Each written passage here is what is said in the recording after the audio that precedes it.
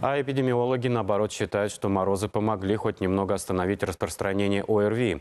Ситуация в республике по-прежнему сложная, но число заболевших, во всяком случае в Абакане, пошло на спад. Однако есть другая проблема. В этом году врачи фиксируют большое количество серьезных осложнений. Обо всем по порядку. Виктор Лушников. У вас температура есть? Колл-центр Абаканской поликлиники на этой неделе работает с полной загрузкой 300 звонков в понедельник. Сейчас люди обращаются пореже, до 200 раз в день, но и это значительно выше средних значений.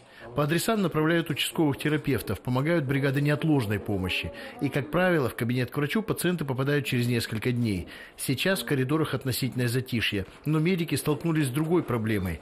Люди занимаются самолечением, советуются с интернетом и запускают простуду обращаются за медицинской помощью, когда развивается уже э, осложнение со стороны других органов и систем. Ну, на фоне гриппа, который сейчас есть, это наиболее актуально, пожалуй, это э, осложнение со стороны органов э, дыхания. Такие серьезные заболевания, как пневмония. Вот, на сегодняшний день наш стационар как бы заполнен такими пациентами.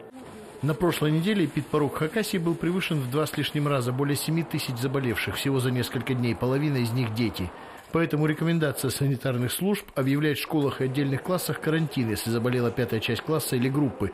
И вторая рекомендация – перед занятиями обязательный санитарный фильтр. Вчера у кого температура была? Нет. Горлышко у кого болит? Нет. При любых сомнениях ребенка отправляют домой. На посещаемость повлияли и морозы.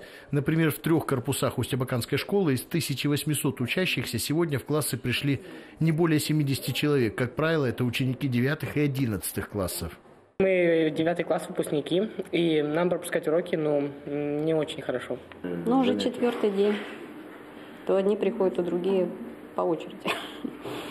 Дома надоедает сидеть детям, вот они по привычке идут в школу, хотя на улице как было холодно, так и есть. Уже неделю закрыты на карантин все школы Черногорска. Дети переведены на дистанционное обучение. Учителя задают своим подопечным задания по интернету, по математике и русскому языку практически каждый день. Нам нужно будет проверить весь материал, который мы им задали за эти 10 дней. А нас, как на учителей, нагрузка лежит огромная. Тишина в коридорах черногорских школ будет еще как минимум до понедельника. Продлят карантин или нет, станет известно завтра, когда эпидемиологи соберут полную информацию о ситуации в республике. Виктор Лушников, Дмитрий Симонов, Вести Хакасия.